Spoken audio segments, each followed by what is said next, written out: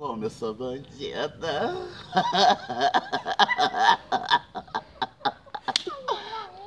Alguém me segure ao vivo.